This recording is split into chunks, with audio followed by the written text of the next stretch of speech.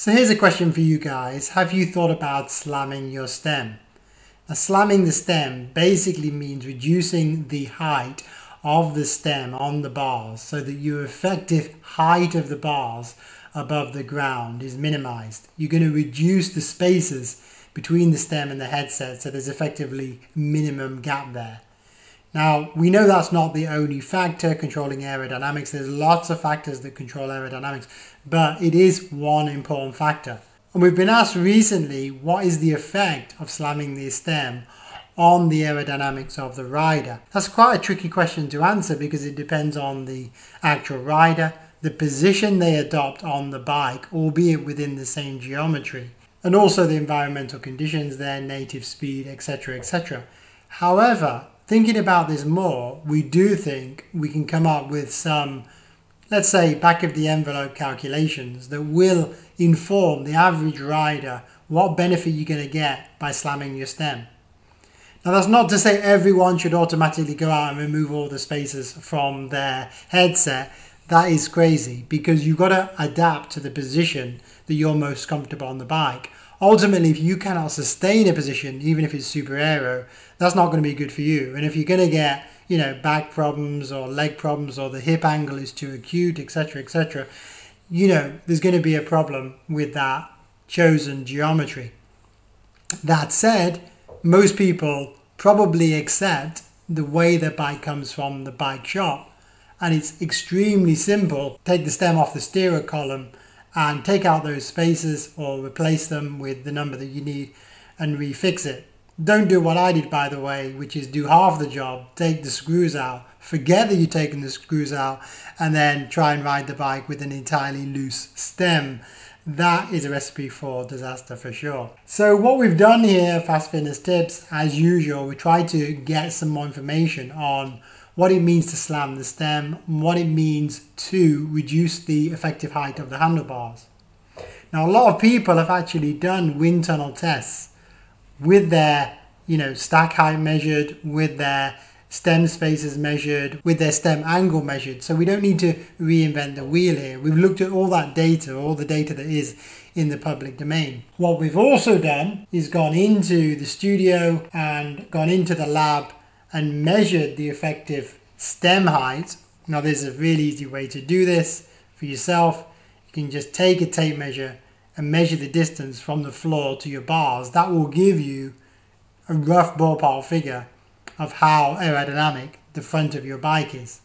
Now I say again, that doesn't necessarily imply you're riding that bike aerodynamically, but what we can do is we can compare the same rider making changes on their bike so that we can say what's the effect of, let's say, taking out three centimeters, five centimeters of effective bar height above the ground. Also, remember that a lot of bikes, you know, and I was in this position myself with the Giant Advance Pro, uh, come with a very high stack height these days. So you may want to, to reduce the stem height and the effective bar height to make it more like a conventional road bike. And we know a lot of stems are sold now with a minus not just 6 degree angle, not just 9 degree angle, but sometimes minus 17, minus 25 and even above. The stems can be flipped, you know, some, sometimes they're designed to have a big steep positive height, but you can flip the stem and make it a big negative dip. In this series of photos here, I've just got on the bike with an accurate tape measure and done a number of setups with the stem non-slammed, then slammed, then with a normal stem, then a minus 17 degree stem to see what gain we get in centimeters when we start adjusting the bike. Um, we can measure that obviously on the, on the top of the bars, on the hoods, for example. We can measure it on the drops as well. It's very interesting that the distance between the top bars and the drops for typical road bars is around about 13 centimeters. For a compact bar, it might be 11 or 12 centimeters, but it's around that ballpark.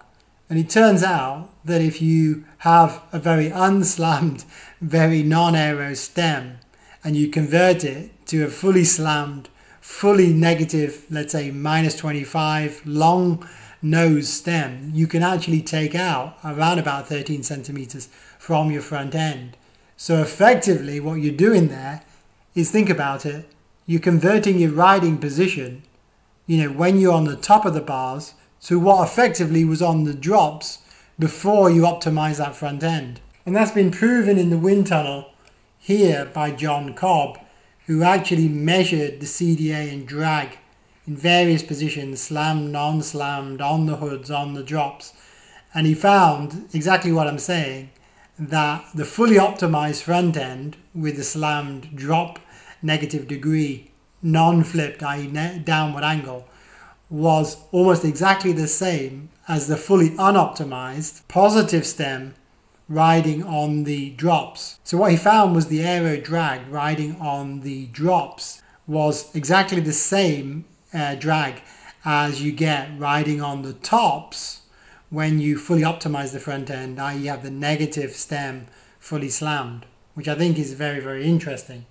But that's the, that's the data for him for his personal setup. Can we go further? Can we go further here and actually create some kind of calculator? Now I have to say you can't actually create a fully personalized calculator with only crude information that we've got to hand here because your drag is heavily dependent on obviously your body, your clothing, you know, your actual position, and lastly your bike, your wheels, etc. You know, we know all that, yeah? But think about it like this. If you are the same rider in the same clothes on the same bike and you make a small change in your front end, i.e. you take out the spacer height, i.e. slam the stem, or you can put on a more acutely negative degree you know, long stem, you can reach down further. So you take out centimeters from the front end. We can extrapolate between the same rider doing those two things. And it turns out that although the figures are not totally robust, they are good enough to give us a ballpark calculator. And this is what I'm going to present to you guys now. So this calculator is a rough and ready calculator. So don't shoot me down if it's not wholly accurate for you, but it's giving you a ballpark figure of the savings you might get and the clever thing is, it starts with your current position. So what you do is you start with your stem length and your current drop angle. So let's say I've got a nine centimeter stem with a drop angle of, you know, let's say also, you know, five degrees. Then it'll work out, you know, basic trigonometry here, that the actual mathematical drop from a fully flat neutral position is less than a centimeter. It's about, you know, 0.8 of a centimeter there. Remember, the, the stem length in this case is only 9 centimeters long. Now then if we go and purchase a new stem, you know, a longer one, let's say an 11 centimeter stem, and we put on a steep drop angle, let's say a 17, well that's going to drop us down by 3.22 centimeters, which is a gain of 2.43 based on our neutral position. Now based on completely zero, obviously we could put in zero here if we wanted to see what it was like compared to completely, you know, zero position. But let's go back to the 9 centimeter stem at a minus 5 compared to an 11 centimeter at a minus 17. We've gained 2.43. Now let's take out 3 centimeters, which is actually very typical of your stack height from the upper steerer, you know, from those um, spacers. Obviously you put them above the stem, tying everything up. And now we've got a total gain of 5.43 centimeters. Now if I'm a rider that averages, let's say 30 kph, your average riding speed, then I calculate based on the wind tunnel data that I've looked at from various riders, that your watt gain from that decrease, from that 5.43 decrease, 5.4 centimeter decrease, is around about 8 watts. And I also calculate that your seconds over 40 kilometers would be with reference to your 30 kph time, in other words, how many seconds do you gain? I calculate that you gain about 63 seconds with that difference, which would be around about a 1% overall gain, which is not too bad. But let's do something even more aggressive. Let's say you put on 11 with a minus 25.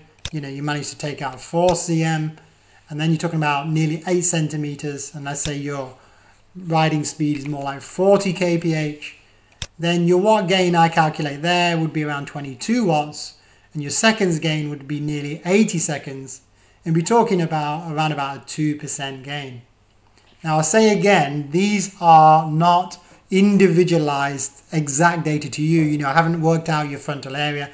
I haven't got your wind tunnel data personalized, you know, exactly on, on spec. But I'm what I am doing is using yourself as a reference, like an unknown known, you know, a fixed variable that's not going to really change except in one parameter, which is the effective front height of the bars from the ground.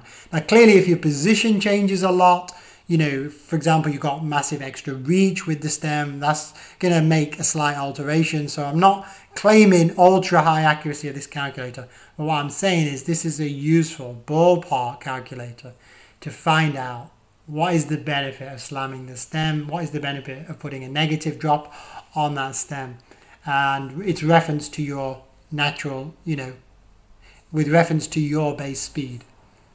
So I hope that's useful, guys. That is some science of slamming the stem rather than just guesswork.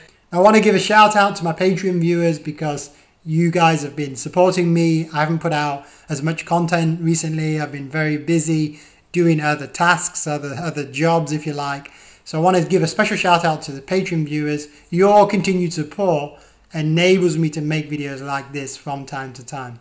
Okay guys, so let's wrap up. So what I'm saying today is there is a bit more science out there on slamming your stem and putting a negative drop on that front end than you first realize.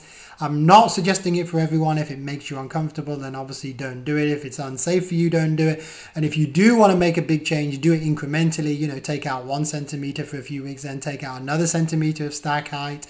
Uh, I think this is a I think this is a worthwhile change. However, for a lot of people who don't look at the setup they get from the bike store, you know, they often come with a big stack height and a lot of spaces in there. So it's an easy change to make, and to be honest, it's one that you can make pretty much for free. All right, guys. As always, stay safe out there. Have a great ride. Check out our Patreon site, and uh, and as always, thanks for viewing Fast Fitness Tips.